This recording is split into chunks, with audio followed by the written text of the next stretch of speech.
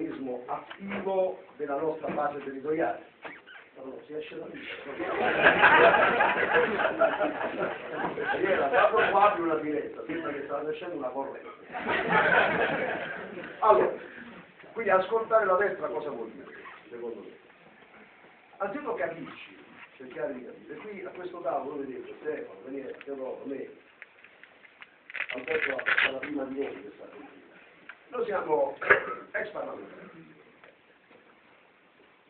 Ma dovete comprendere che noi non viviamo questa condizione con straordinaria sofferenza. Certo, la vita è più comoda con lo stipendio, ma non può essere quello la motivazione della lotta politica.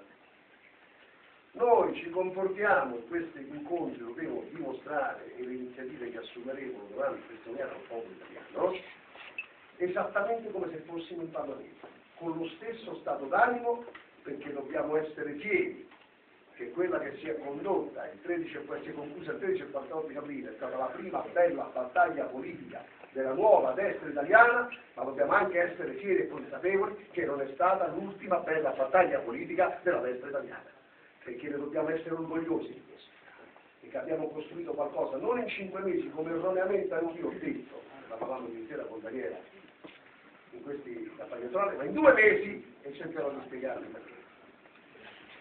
Perché lo stato d'animo deve essere lo stesso, l'abito mentale è lo stesso? Io vi faccio l'esempio, vogliamo il caso, che come è stato consentito alla Lega, come è stato consentito a Lombardo, come stava per essere persino consentito alla DC di pizza, fosse stato consentito anche a noi di stare con la coalizione che consideravamo naturalmente alleata con il nostro simbolo, noi staremmo in Parlamento.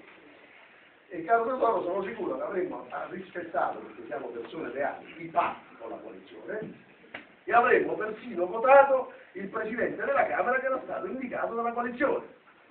State certi che ci sarebbe stata qualche novità, perché l'onorevole Fini nel suo discorso di insediamento non si sarebbe mai permesso di celebrare il 25 aprile e il primo di maggio perché i nostri deputati lo avrebbero fischiato.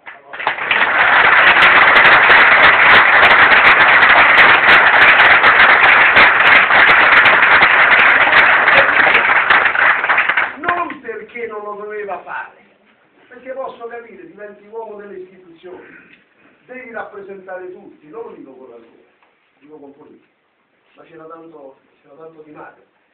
Questa è la settimana in cui ricorre il ventennale della morte, ma c'era tanto di male a dire io rappresenterò tutti, le feste comandate, ma non chiedete mai di rinunciare al ricordo dell'uomo che mi ha preso per male e mi ha portato a questo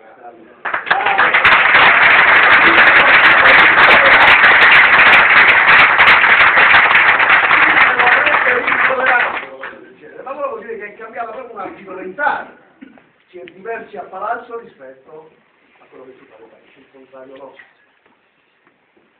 Si può, e mi dispiace che siamo con cose, perché comunque parliamo di personalità che hanno condiviso lo stesso nostro percorso, poi ci separiamo perché non condividiamo più nulla, ma quando tu rinunci alla bandiera tua, non può dire che la bandiera di un altro paese è più importante della vita di un ragazzo ammazzato con una sigaretta a Verona?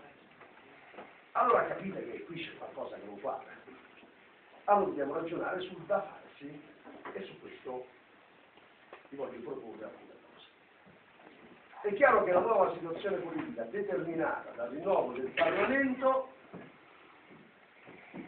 deve essere vista attentamente. Per questo dibattito si svolgerà, saranno gli interventi, lo prendere a nove, gli interventi di chi vuole iscriversi a parlare e poi le conclusioni le comprò quando si poi trovano le conclusioni da proprio loro. Ovviamente Daniele interverrà nel momento in cui si dovrà intervenire, perché almeno questo